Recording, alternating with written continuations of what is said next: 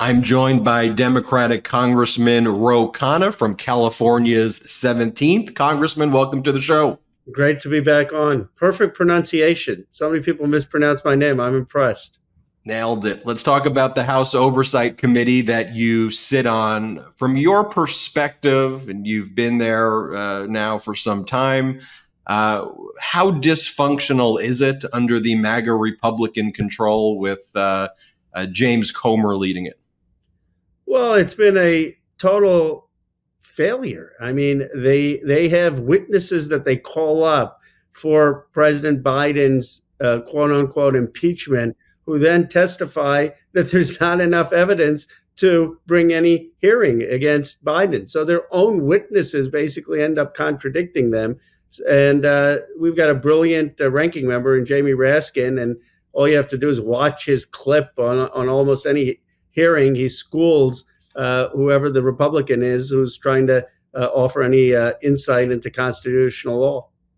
You know, so there's the clear incompetence or gross incompetence. You know, they, have also been relying, the MAGA Republicans have been relying on foreign agents, people who are, you know, agents of Russia, agents of the CCP, as their witnesses to try to overthrow a sitting president. And then when they're called out on it, their response basically is like, yeah, what, what, what, whatevs. We never said they were that important, even though there's all the tape of them saying, this is our key whistleblower. That's our key whistleblower.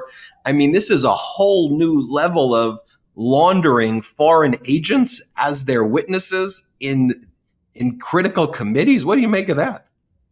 I mean, I don't think they realize how absurd this sounds. They had a witness, uh, Parnas, uh, who basically under oath said that William Barr uh, was involved, as was the Trump administration, in getting him to go to foreign countries like Russia to uh, try to dig up dirt uh, on uh, President Joe Biden.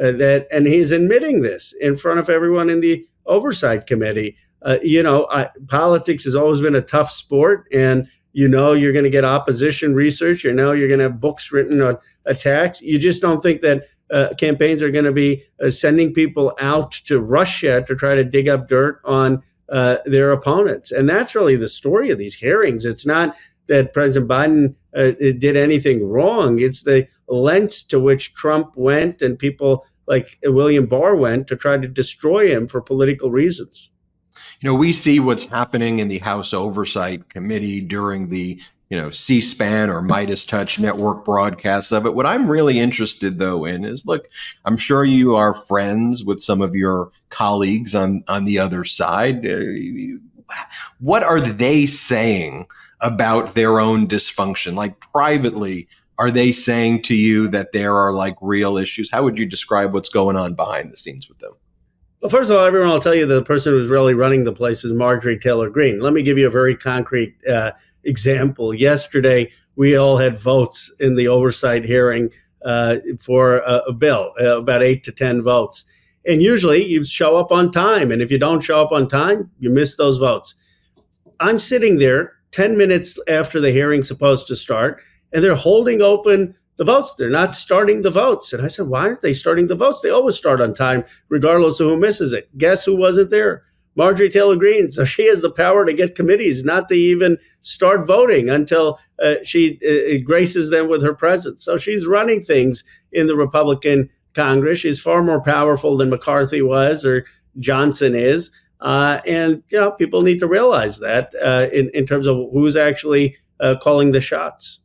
And are your Republican colleagues though saying to you like like look, we're stuck. We don't know what to do. I mean, we see Congressmember Gallagher, Congressmember Buck already leave. Congressmember Buck teased, a former Congressmember Buck now teased more were going to leave. You know, are they saying to you, hey, Congressman Khanna, like there's like this is the worst it's ever been. Like these people are crazy. Is is there anything like that going on?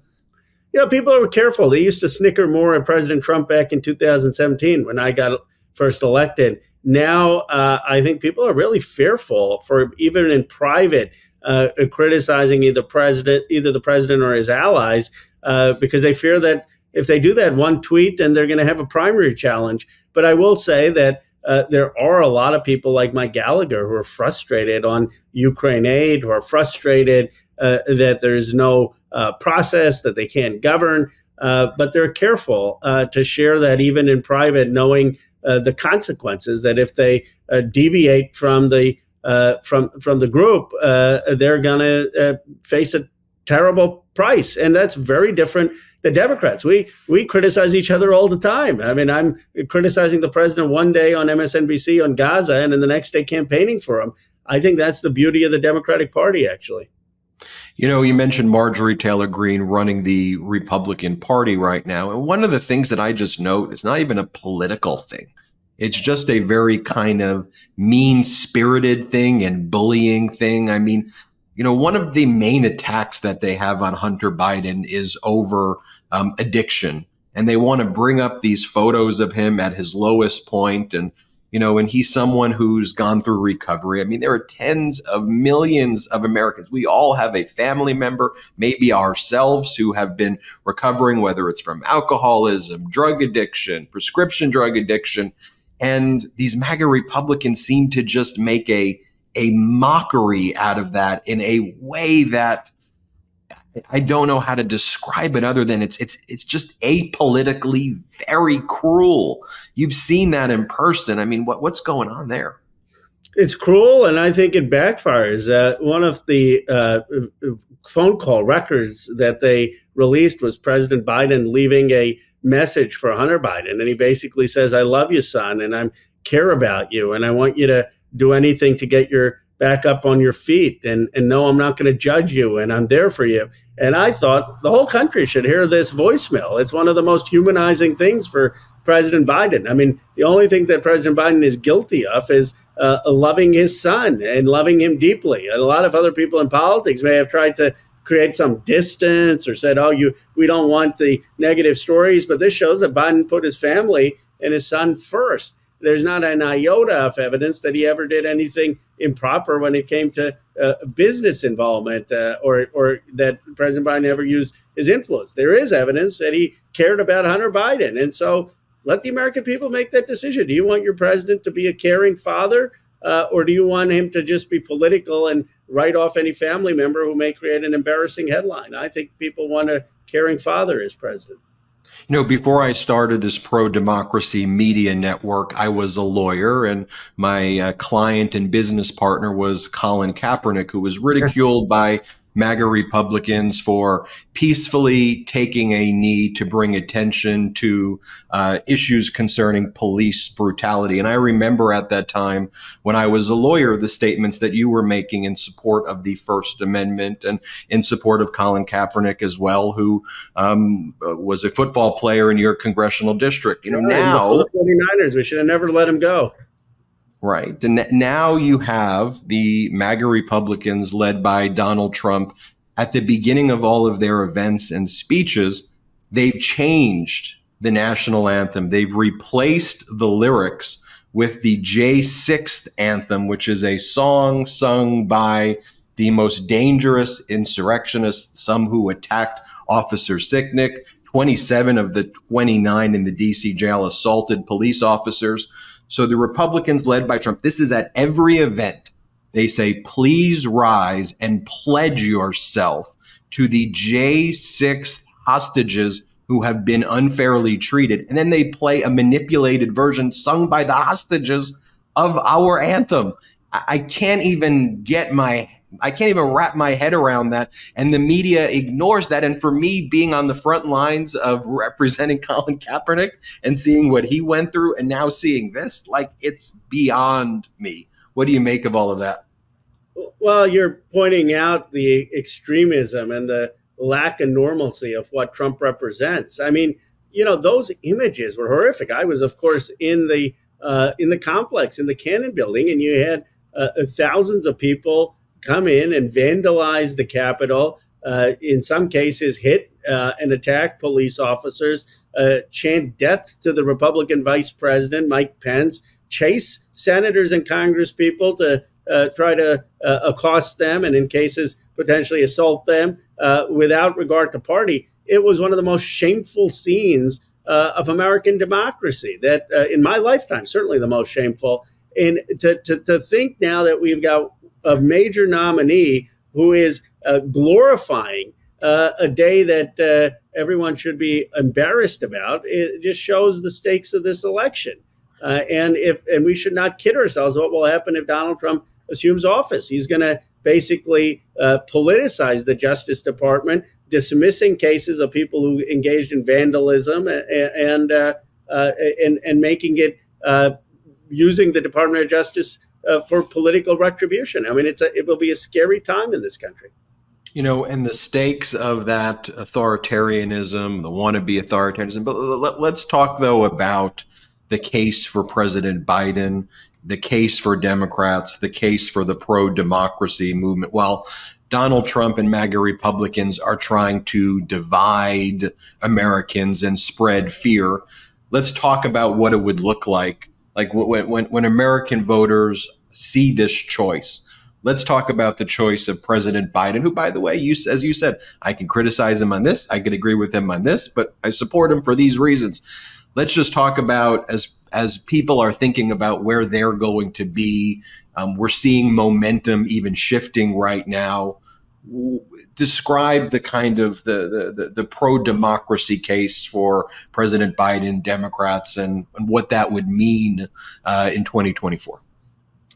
Well, I'll make three simple points for why we all need to be passionate behind President Biden. First is abortion rights. Uh, the equality of women is on the ballot uh, if President Biden isn't reelected, you're going to have statewide abortion bans of the kinds you see in Arizona, and, and you're going to have state legislatures take away women's rights to control their own body and basically devalue women and girls in our society as less than equal.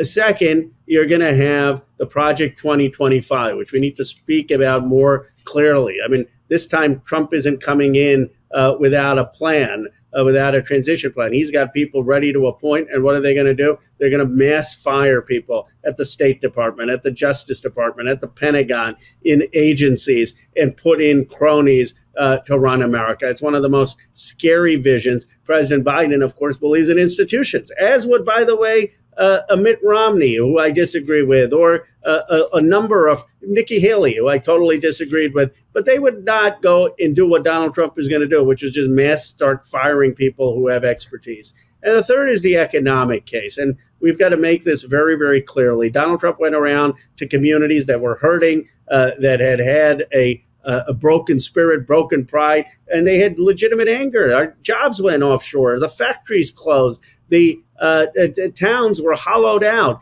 as wealth piled up in places like Silicon Valley in my district. And so Trump said, I'm going to bring you back. I'm going to bring back these factories. Here's my question Where were the factories that Donald Trump promised? Where were the aluminum factories, the steel factories, the textile factories? None. Why? Because he did a corporate tax cut for the wealthiest. Those who had stocks got richer. Those who had corporate executives got richer. Uh, people in my district got richer. What President Biden came in and said, Yeah, I agree. Okay, we've got a huge challenge in these communities and towns. And what I'm going to do is bring manufacturing back, more manufacturing jobs created than in the past 40 years. Towns having semiconductor factories, having battery factories, having new industry, uh, revitalizing places that were left out and we've got a clear economic choice. Donald Trump, more tax cuts for corporations. Joe Biden, more manufacturing, more industry, more relief to actual working families. Congressman Khanna, thank you for joining us as always. Thank you. Hit subscribe. We're on our way to 3 million subscribers thanks to your support and have a great day. Real quick, Meta just changed their algorithm to suppress political content. Please follow our Instagram at MeidasTouch right now as we head towards 400,000 followers so you don't miss a beat.